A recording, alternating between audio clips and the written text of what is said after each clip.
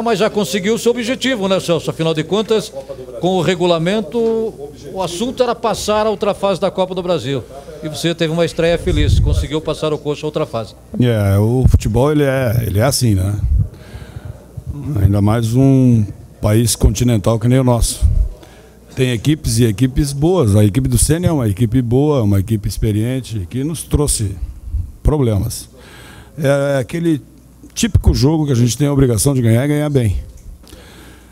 Mas com a equipe desequilibrada, como nós víamos, né, tecnicamente falando, e nós tivemos aí uma semana e alguns dias, oito dias, para trabalhar, eu acho que, que foi bem. Conseguimos passar de fase, mas isso não é o que nós queremos. Nós queremos ir mais além. Celso, lógico que você viu o time na primeira oportunidade que você o orientou, ainda sem o Alex, que taticamente é sempre um jogador é, fundamental. Mas é, mesmo sem Alex, você consegue transmitir otimismo nesse momento à torcida Coxa Branca? Olha, a, a gente só consegue transmitir otimismo para um torcedor ganhando. Não, eu não posso dizer, olha, tá tudo bem, a gente vai para o campo e não, não, não, não consegue o resultado. Né? Então, enquanto nós estivermos ganhando com o Alex, ou sem ele, né? ele tem a sua importância, eu sei disso, o torcedor sabe disso, os jogadores sabem disso, o grupo todo sabe disso, mas nós temos que, que ir, a, ir em frente, com ele ou sem ele. E hoje nós conseguimos. Então, se nós mantivermos esse nível, né, ganharmos os jogos, às vezes com dificuldades e às vezes nem tanto assim, aí, consequentemente, o torcedor vai ser otimista porque ele é passional, né? Nós é que temos que enxergar a coisa tecnicamente para poder ir levando e levando da maneira que nós queremos. Celso, é, boa parte dos jogadores destacar, destacaram a seguinte questão: é, o Curitiba dessa vez não sofreu sustos, é, esteve bem postado, não deu o contragolpe ao adversário. Esse foi um ponto muito focado, muito trabalhado? Foi, foi. Foi porque nós assistimos os últimos jogos do Coritiba e o Coritiba na bola parada com, a contra, não, a favor do Coritiba, levava, tinha perigo de gol no nosso gol. Né? Contra-ataques, não pode ser assim. Então nós jogamos, isso é um fator muito importante a ser observado. Claro que o resultado é fundamental, mas jogar em casa contra uma equipe que não tem a obrigação de ganhar o jogo e nós dominarmos o jogo praticamente o tempo inteiro jogando no, no, no, no campo do Sene e estarmos organizados atrás é sinal de que a equipe tem um equilíbrio já, é cedo ainda para dizer, mas já adquiriu uma postura diferente e isso é importante. E com a vitória te dá mais tranquilidade também, você não vai ter tempo para treinar, né? Mas entra aí o lado psicológico para estrear bem no Campeonato Brasileiro já no próximo sábado, Celso? Não, tenha dúvida, concordo contigo. É isso mesmo. Só que nós temos que colocar publicamente que esse jogo de hoje foi um o jogo de Chapecó será completamente diferente. Esse foi um jogo jogado, técnico, né? Uh, onde nós procuramos jogar, tocar a bola lá em Chapecó, é jogo de primeira e segunda bola, de vitória na disputa física. Né? Então é um jogo completamente diferente e nós não temos esse tempo para treinar. Né? Temos, sim, uh, esse fator psicológico que não, não deixa de ser muito importante que, que você mais gostou e que menos gostou da partida de hoje? Essa organização que nós acabamos de falar, de não levar susto atrás quando tu controla todo o jogo e domina o jogo, isso é importante. Gostei do primeiro tempo, uh, da marcação na meia pressão, que nós treinamos muito, pressão e meia pressão. Nós roubamos algumas bolas e quando nós tivermos uma convicção maior de posicionamento, nós roubaremos mais. Só que isso faz com que nós tenhamos um, uma condição física acima da média. Né? Vocês viram que os três jogadores que fizeram a linha de três foram substituídos. Né? Por quê? Por uma razão simples. O ritmo que eles colocaram no jogo no primeiro tempo foi incrível, para marcar e para jogar. E a gente tem o hábito de dizer que um time se torna maduro quando ganha em casa e fora de casa, né? da mesma maneira. E também quando sabe e eh, defende com uma velocidade e joga com outra. O que o Coritiba fez no primeiro tempo hoje foi jogar, defender com uma velocidade e continuar jogando com aquela velocidade. Então, nós ainda temos que ter esse tempo e é absolutamente normal que isso aconteça, né? A gente está chegando e está pedindo para que os jogadores façam. E eles tentaram hoje e isso me agradou.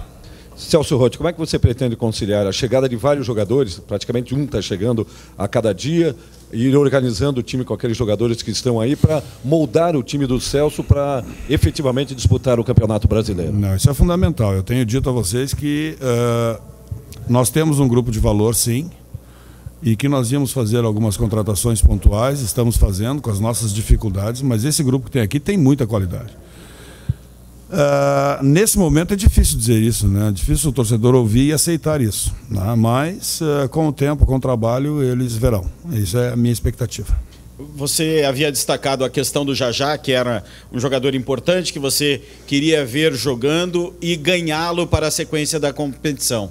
É, qual foi a avaliação que você fez do Jajá e ele teria uma condição já para 90 minutos ou ainda não? O Jajá é um jogador altamente técnico. Né? Vocês viram que ele entrou de uma maneira e depois se adaptou ao jogo e começou a fazer algumas jogadas que são características dele. Né? Ele precisa de tempo, precisa de sequência. Né? Todo jogador precisa disso, mas ele essencialmente, porque ele é um jogador técnico com a altura que tem. Né? Então, por isso que ele se torna um pouco diferente do, do normal. Né? Ele joga numa função aonde o jogador que joga ali tem que ter qualidade técnica e principalmente rapidez nos seus movimentos para ter a vitória pessoal.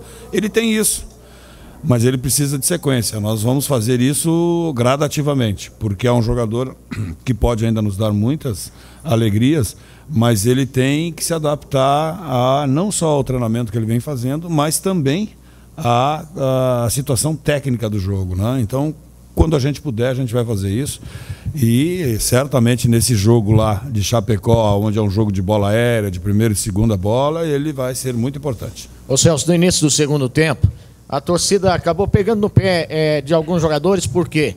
Às vezes o torcedor ele quer que o time é, jogue essa bola lá para frente e de repente não importa se o adversário vai pegar. E às vezes o jogador ele tem que ter essa habilidade realmente e a paciência e até recuar, recomeçar uma jogada, enfim para não simplesmente perder a bola para o adversário. E, e, a gente percebeu que você pedia calma para o time né, nesse momento. É, isso é uma coisa que tem que se passar para o torcedor também, que pode acontecer isso num jogo, de você ter que recuar essa bola para recomeçar uma jogada. Você achou a torcida hoje, de repente, muito afoita, muito querendo ver o time para frente? Não? não, eu achei a torcida completamente com razão. Torcedor é passional, torcedor não é profissional. Profissional, profissionais somos nós. O jogador que entra para dentro do campo, ele não pode se envolver com o que a torcida está fazendo ou está deixando de fazer. E ninguém vai ter aqui, principalmente eu, ah, alguma situação de repreender qualquer torcedor que seja. O torcedor faz o que ele acha que tem que fazer. Nós, profissionais, é que temos que fazer a coisa correta. Então o torcedor pode gritar, pode falar, pode dizer o que for. Nós é que temos que fazer a coisa correta. E os jogadores têm que saber disso. Aliás, eles são profissionais por essa razão. Eles têm que ter maturidade para fazer. O torcedor está gritando, está exigindo e nós estamos jogando dentro daquilo que a gente combinou antes e que a gente treinou.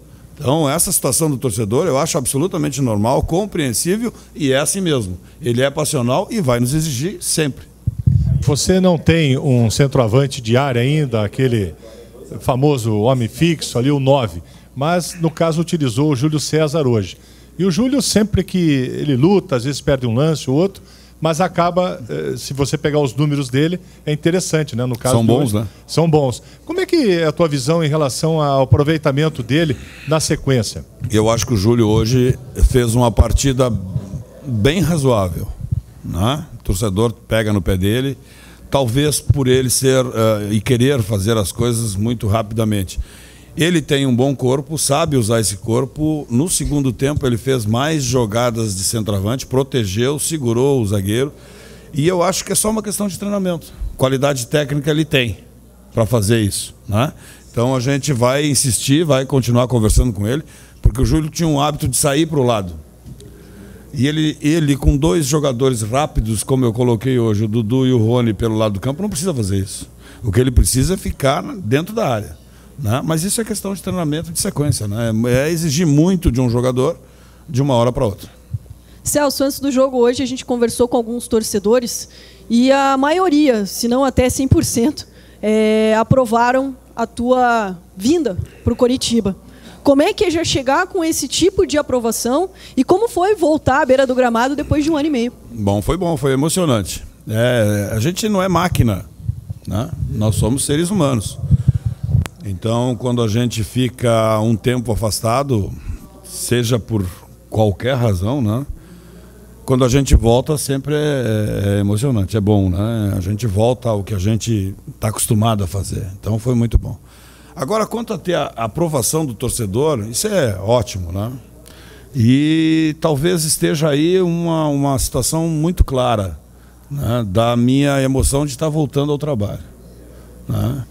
Eu também sou ansioso como qualquer ser humano. Eu também quero dar resposta para o torcedor como qualquer profissional. Né? E eu estou sendo muito bem recebido no Coritiba. Ainda não tive a oportunidade de andar pela cidade, né? Como a gente, porque a gente ainda depende de, de carona para isso, carona para aquilo, não conhece a cidade, né? Então tem certas dificuldades. Mas uh, o que eu posso dizer ao torcedor é que é muito bom chegar assim e que eu estou sendo muito bem recebido e, surpreendentemente, estou vendo um clube que tem uma estrutura muito boa e a expectativa é corresponder a isso. Tá? Então, eh, essa aprovação, ela só me traz mais responsabilidade. Né? Mais e mais e mais.